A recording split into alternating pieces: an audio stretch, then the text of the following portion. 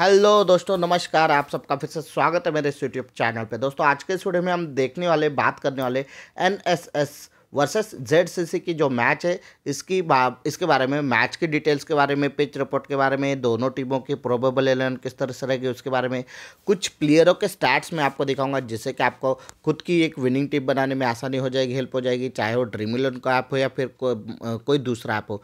आखिर में ऑफकोर्स मैं आपको तीन ड्रीम इलेवन की विनिंग टीम्स भी दिखाऊँगा जिससे कि आपको अच्छी खासी अर्निंग हो सकती है या फिर आप ग्रैंड लीग या स्मॉल लीग ज़रूर जीत सकते हैं। तो दोस्तों वीडियो को शुरू करने से पहले रिक्वेस्ट करता हूँ अगर आपने मेरे चैनल को अगर अब तक सब्सक्राइब नहीं किया तो जल्दी से जल्दी कर लीजिए। साथ ही साथ बेल आइकन को प्रेस करके ऑल पर भी क्लिक करना ना भूले, ताकि ऐसे वीडियो आप तक पहुँचते रहे। तो वीडियो को शुरू करते हैं मैच की डिटेल से। N S S versus Z C C के बीच ये मैच है और ये इस सीरीज़ का दसवां मैच है। वेन्यू की अगर बात करें तो अमीगॉन क्रिकेट ग्राउंड है। डेट और टाइमिंग की बात करें तो ट्वेल्थ ऑफ़ मार्च यानी कल सुबह नौ बजे ये मैच होने वाला है। आप अगर ये मैच लाइव देखना चाहते हैं तो ज़रूर देख सकते हैं फ़ैन कोड पे ये मैच लाइव देख सकते हैं। अब बात कर लेते हैं पिच रिपोर्ट की तो पिच रिपोर्ट के अनुसार यहाँ पे पिछले कुछ मैचेस में गेंदबाजी हावी हो रही है। जी हाँ दोस्तों, गेंदबाजी को काफ़ी मदद मिल रही है। खास करके स्पिनर्स को यहाँ पे ज़्यादा अच्छी मदद मिल रही है तो यहाँ पे गेंदबाजी के चलने के ज़्यादा चांसेस है। तो इसीलिए अगर बैट्समैन्स को यहाँ पे रन बनाने हैं तो पिच पर थोड़ा रुक कर और फिर अपने शॉट्स लगाने होंगे, तभी वो रन बना पाएँगे। अब बात कर लेते हैं दोनों टीमों की प्रोबेबल इलेवन की तो सबसे पहले बात करते हैं जेड सी सी की प्रोबेबल इलेवन की तो वो कुछ इस तरह से रह सकती W धमान R Haque J Sharma B Mahanta G Rabi H Hazarika K Das S Hussain बिजुकर B Hasan और आहर अली। इस तरह से रहेगी जेड सी सी की प्रोबेबल इलेवन या प्रेडिक्टेड प्लेइंग इलेवन भी आप इसे कह सकते हैं। अब बात करते हैं एन एस एस की जो प्रोबेबल इलेवन है, वो किस तरह से रहेगी? तो वो इस तरह से रह सकती है।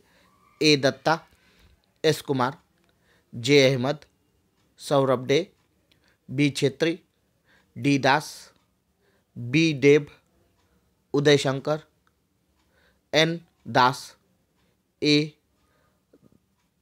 दालगप्पू, राहुल सिंह। इस तरह से रहेगी प्रोडिक्ट प्रेडिक्टेड प्लेइंग या फिर probable eleven N N S S की।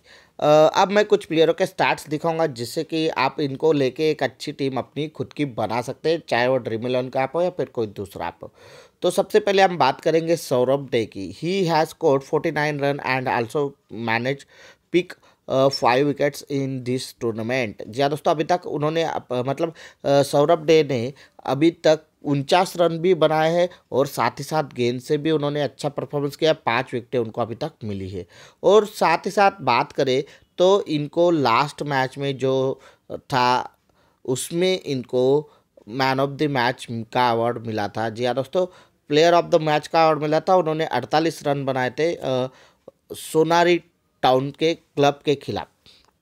बी क्षेत्र की अगर बात करें तो ये भी काफ़ी अच्छे प्लेयर है। He has got sixty one so far and three wicket slapped अभी तक इन्होंने इकसठ रन बनाए हैं और तीन विकेटें भी इनको हाथ लगी है। बी कार की बात करें तो in the last match against Nirvana S A he has got twenty run with the bat and pick two wickets in this in this tournament. मतलब इस मैच में इन्होंने सिर्फ़ लास्ट मैच का मेरे पास अभी है। तो इन्होंने मेरे का मतलब यहाँ पे बीस रन भी बना है और साथ ही साथ उन्होंने चार विकटें भी ली है। दो विकटें ली है, माफ़ कीजिएगा, और अगर इनके ओवर का पूरा स्पेल भी इन्होंने ख़त्म किया था। अगर बात करें तो अगले जो हॉटपिक्स है इनका परफॉर्मेंस थोड़ा सा इतना अच्छा तो नहीं है लेकिन फिर भी इन, इनको हम हॉटपिक्स में रखेंगे। He score forty one run in this tournament इकतालीस रन बना पाए अजित दत्ता ने जो कि ठीक ठाक ही माने जा सकते तो अब चलते हैं टीम ड्रीम इलेवन की टीम्स देख लेते हैं जिससे कि आपको अच्छी खासी अर्निंग हो सकती है या फिर आप ग्रैंड लीग या स्मॉल लीग ज़रूर जीत सकते हैं। तो इसके लिए हमें जाना होगा ड्रीम इलेवन के ऐप पे।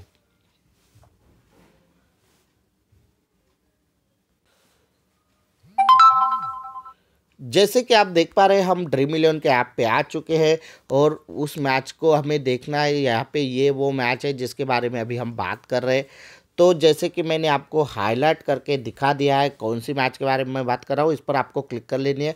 अगर आपने अब तक टीम नहीं बनाई तो क्रिएटर टीम पर क्लिक कीजिएगा, लेकिन मैं ऑलरेडी तीन टीम यहाँ पे बना के रख चुका हूँ, जिसे एक एक करके मैं आपको एडिट करके दिखाता जाऊँगा, किस किस को लेना है, किसको नहीं लेना है, और फिर मैं कैप्टन और वाइस कैप्टन किसे बना सकते वो भी मैं दिखाऊँगा। माई टीम पर क्लिक कर लेते हैं, और पहली टीम को मैं आपको एडिट करके दिखा देता हूँ। तो कुल मिला काफ़ी अच्छी टीमें बनने वाली है दोस्तों।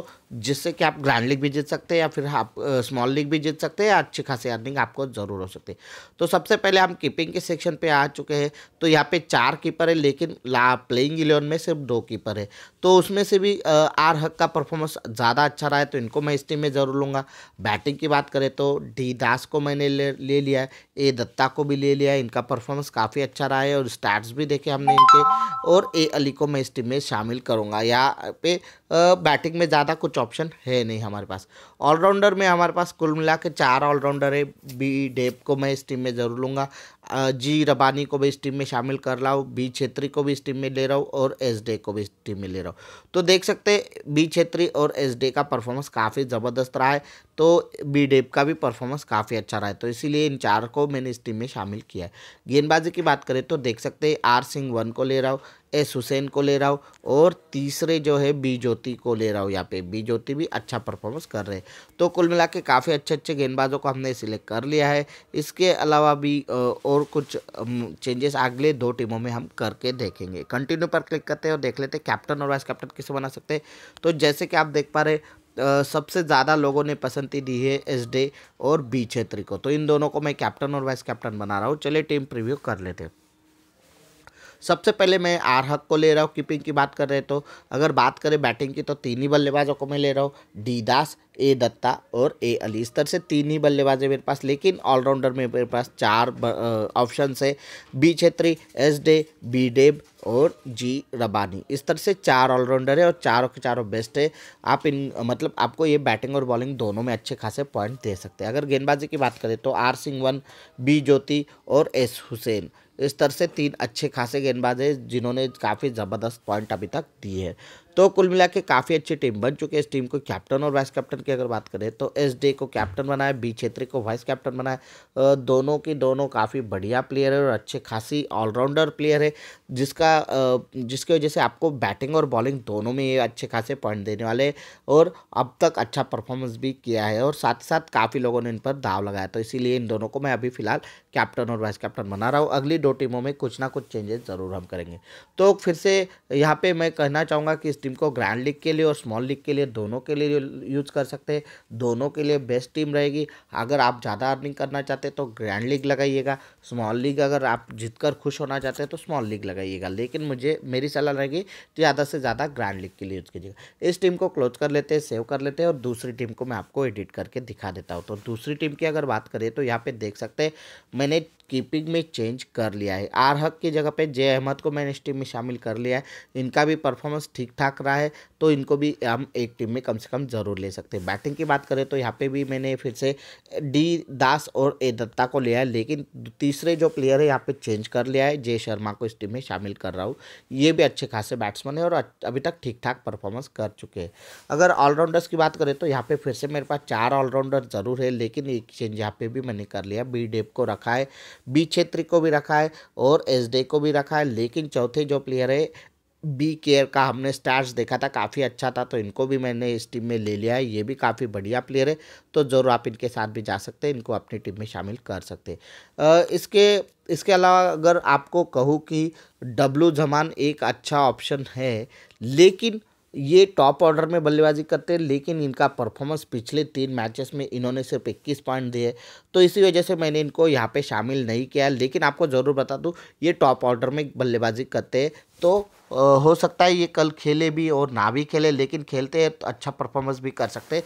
तो अगर आप चाहें तो इनको यहाँ पे ले सकते हैं, पर मैं नहीं लेने वाला बैटिंग की गेंदबाजी की बात करें तो आर सिंह वन को फिर से ले लिया है, लेकिन यहाँ पे और एक चेंज मैंने किया है।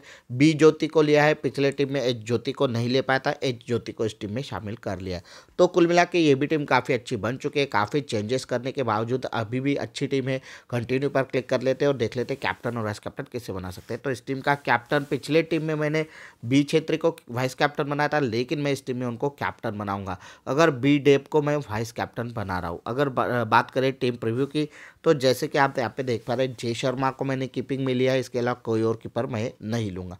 अगर बात करें बैटिंग की तो डी दास ए दत्ता जय शर्मा। इस तरह से तीन बल्लेबाज है। यहाँ पे ऑलराउंडर में सबसे ज़्यादा ऑप्शन है और अच्छे प्लेयर है। दोस्तों मतलब उनका परफॉर्मेंस अच्छा है, इसीलिए मैं चार ऑलराउंडर ले रहा हूँ इस बी टी इस टीम में भी।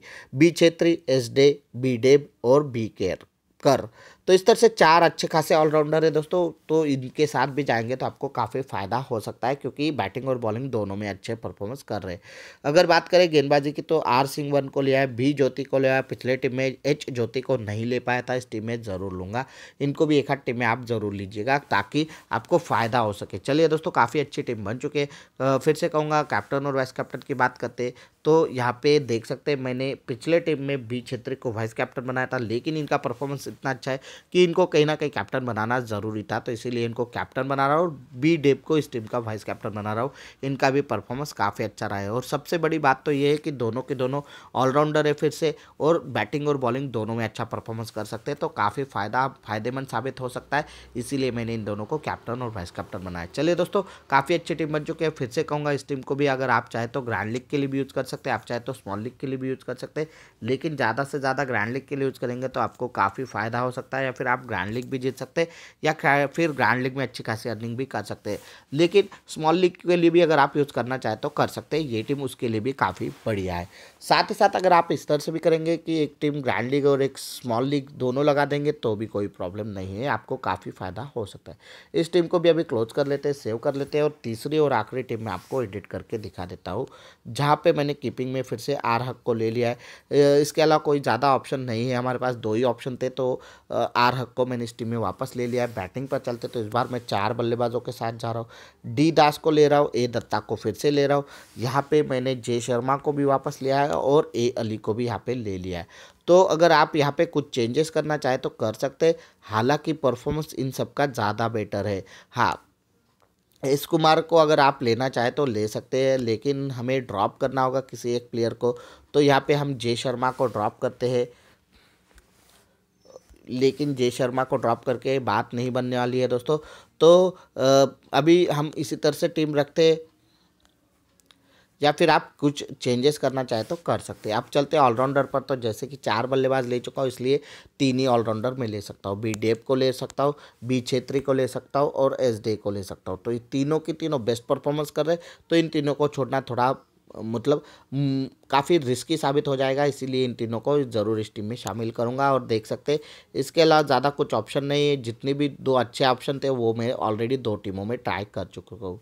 गेंदबाजी की बात करें तो यहाँ पे आर सिंह तो रहने ही वाले आर सिंह वन इसके बाद मैंने यू, शंकर दास को इस टीम में शामिल कर लिया। इनका भी मैंने परफॉर्मेंस आपको शायद दिखाया था। अगर बात करें तो तीसरे जो है, बी ज्योति को भी इस टीम में ज़रूर शामिल रखूँगा। इस तरह से ये भी टीम काफ़ी अच्छी बन चुकी है। ज़रूर आप इस टीम को भी अच्छे से यूज़ कर सकते हैं। कंटिन्यू पर क्लिक कर लेते हैं और देख लेते कैप्टन और वाइस कैप्टन हम किसे बना सकते हैं। तो इस टीम का कैप्टन फिर से मैंने मतलब बी डेप को पिछले टीम में वाइस कैप्टन बनाया था, इनको अब मैं इस टीम का कैप्टन बना रहा हूँ। आर सिंह काफ़ी अच्छी गेंदबाजी कर रहे हैं तो इनको मैं वाइस कैप्टन बना रहा हूँ। चलिए टीम प्रिव्यू कर लेते जैसे कि आप देख पा रहे कीपिंग में हमारे पास आर खा, खक है, इसके अलावा कोई और कीपर नहीं है, क्योंकि दो ही ऑप्शन थे और ऑलरेडी हमने वो ऑप्शन ट्राई कर ली है और यहाँ पे फिर से आर हक को मैं लूँगा अगर बल्लेबाजी की बात करें तो यहाँ पे मेरे पास चार बल्लेबाज है पिछले दोनों टीमों में चार चार ऑलराउंडर मैंने लिए थे, लेकिन इस बार चार बल्लेबाज ले रहा हूँ। डी दास ए दत्ता जय शर्मा और ए अली स्तर से चार अच्छे खासे बल्लेबाज। गेंदबाज की बात की जगह ऑलराउंडर्स की बात करें तो तीन ऑलराउंडर वही रहेंगे, बी छेत्री, एस डे और बी डेब। चौथा ऑलराउंडर हम नहीं ले पाएँगे क्योंकि चार बैट्समैन हमने यहाँ पे लिए। अगर बात करें गेंदबाजी में तो यू शंकर दास है, आर सिंह है, R Singh one, B Jyoti भी इस टीम में शामिल रखा है। तो इस तरह से काफ़ी अच्छी टीम बनी है दोस्तों। ज़रूर आप इस टीम को भी ग्रैंड लीग के लिए भी यूज़ कर सकते हैं। आप इस टीम को स्मॉल लीग के लिए भी यूज़ कर सकते हैं। लेकिन फिर से कहूँगा, ज़्यादा से ज़्यादा ग्रैंड लीग के लिए यूज़ कीजिएगा। स्मॉल लीग के लिए भी यूज़ कर सकते हैं। लेकिन ग्रैंड लीग में ज़्यादा अर्निंग होती है तो इसीलिए ज़्यादा ग्रैंड लीग में लगाना फ़ायदेमंद साबित हो सकता है।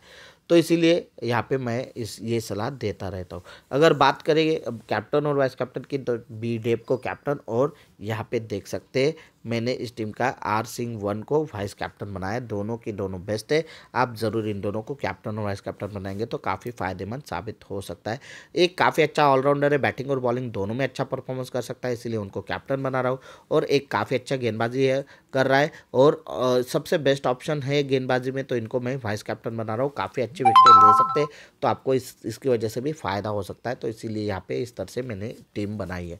तो कुल मिला के ये टीम भी काफ़ी अच्छी है, फिर से कहूँगा ग्रैंड लीग और स्मॉल लीग दोनों के लिए यूज़ कर सकते हैं, कोई प्रॉब्लम नहीं, कोई दिक्कत नहीं। इस टीम को भी क्लोज कर लेते सेव कर लेते और आखिर में ये कहूँगा दोस्तों, अगर आपको लगता है इन तीनों टीमों में कुछ चेंजेस करने चाहिए, जैसे कि मैंने आपको बताया डब्लू जमान और एस कुमार ये दो प्लेयर ऐसे प्लेयर हैं जिनको आप ज़रूर चेंज कर सकते हैं, उनको ले सकते हैं।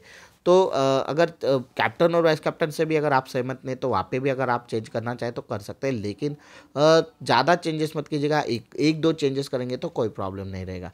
तो आई होप आपको मेरी तीनों टीमें और मेरा वीडियो पसंद आएगा अगर पसंद आए तो इसे लाइक, शेयर और कमेंट ज़रूर कर दीजिए।